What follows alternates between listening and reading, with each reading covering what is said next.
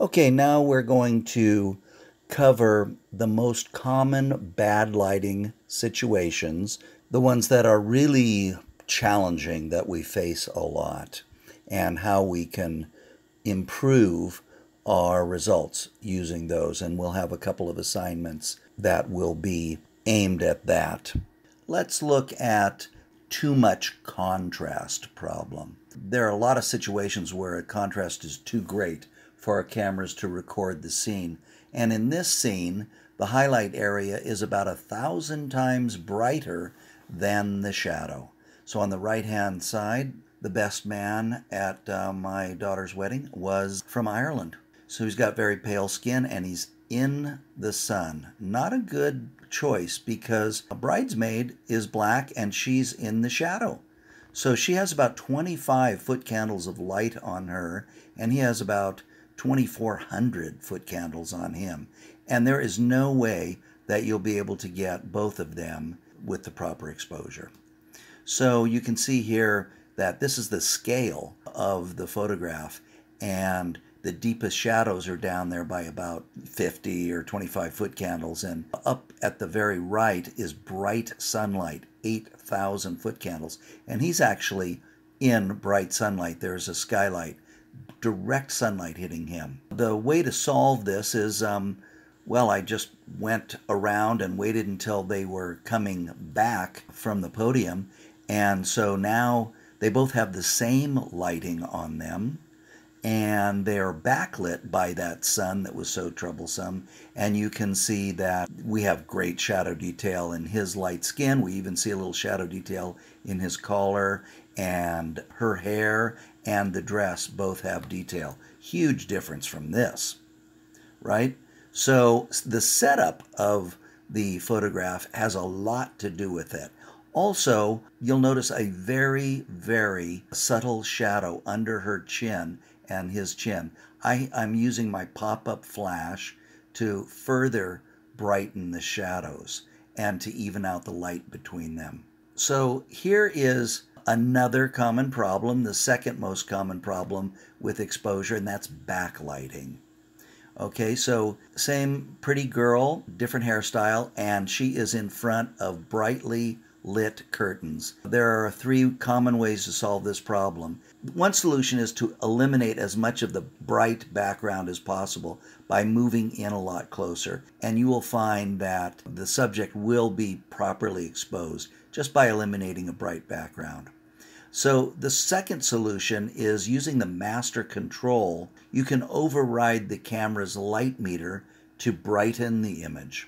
So in the left, we see she is a silhouette. I've moved in closer and I've changed the overall exposure to an adjustment of plus three. On your cameras, you're going to see a master exposure control. It looks like a plus and a negative. It's going to be very, very small button. And you can use that to brighten up the overall image. In this case, the background details are completely lost and you actually get a little uh, wrap around of Ashley's face. I think it's kind of a it's a nice look, and that is accomplished by going to plus three in this particular situation. You can see that it's a big difference.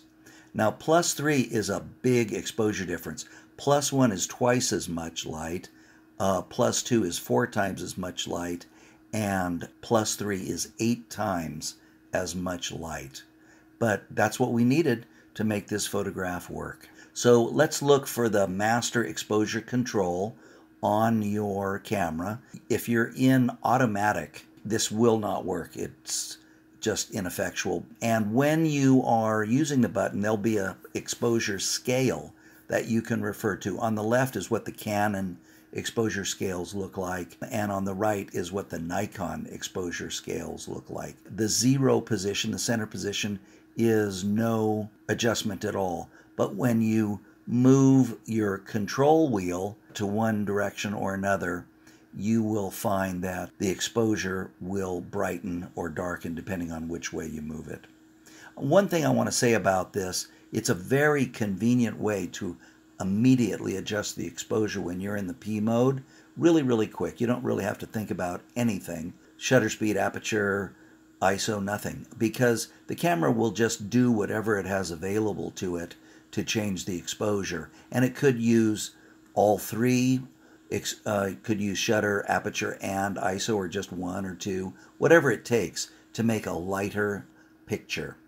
You want to always have it back at the zero position after you've used it because if you don't remember to zero the control, um, all your pictures are going to be either too light or too dark, and you won't know why. And you'll send your camera in and for a hundred and fifty dollar correction at the repair facility, and the guy will look at it and just reset that, uh, wrap it up, and send it back to you. Okay, now uh, we're gonna do some other exposure adjustments. If it's sunny outside, we're going to do the lens flare correction. You'll see that there's a lens flare in the upper left. I've put my hand in the lower right photograph to block that. So if it is sunny, we'll do this assignment. Um, you can see that when direct light strikes your lens, it causes a lens flare. The uh, one on the left has no lens shade. And so there's a bad lens flare. But when I move in, get rid of the background, and I use my lens shade, suddenly I'm getting an improved image. On your left, uh, that's what a lens shade looks like. If you don't have a lens shade, you can use your hand or a hat or whatever to cast a shadow on your camera. Okay, now next we're going to do the flash control and open shade. We'll have a diagram on how to complete this assignment. There's a lot of photographs in this assignment, so just bear with me.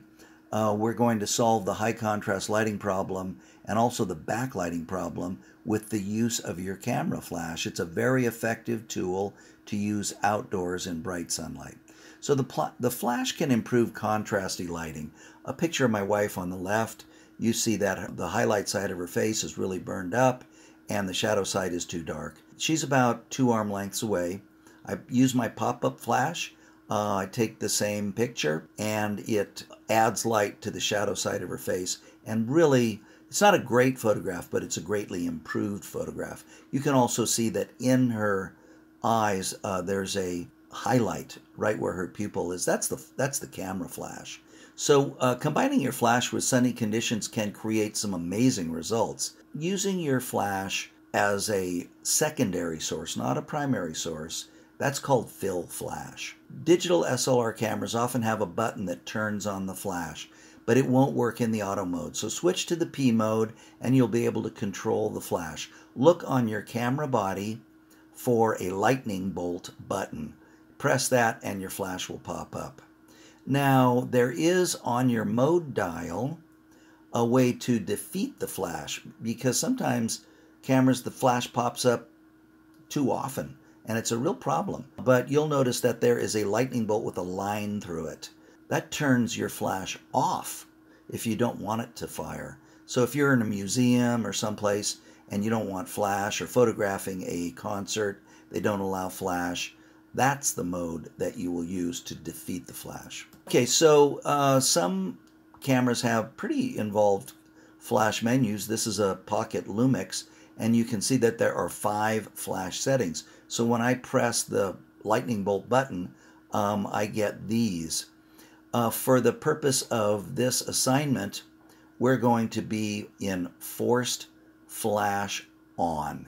So we're going to put the flash on whether the camera needs it or not. All right, so our pop-up flash isn't very strong compared to sunlight, so we have to be less than 10 feet from our subject for the flash fill technique to work.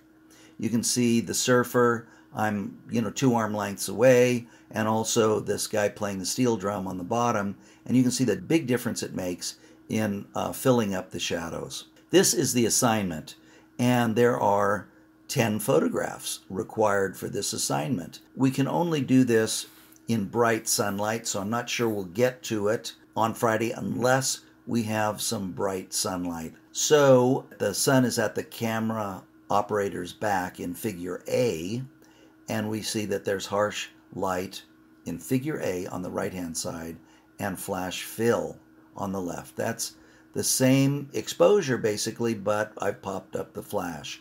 So on the left-hand side, you can see that the flash is operating in figures A, B, C, and D. And uh, the diagram on the right shows the camera position in relationship to the sun. So we're going to produce these photographs and shrink them down and we're just going to cover up the PDF file of this assignment that I'm sending to you. So you don't have to put in the type or anything. You're just going to put in your photograph over these photographs. You just start with a base layer and drop it into PowerPoint and then you just size them and put them on.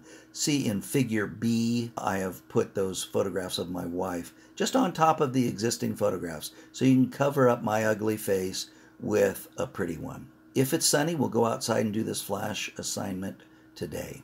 That's all for the flash fill assignment. I'll see you in class.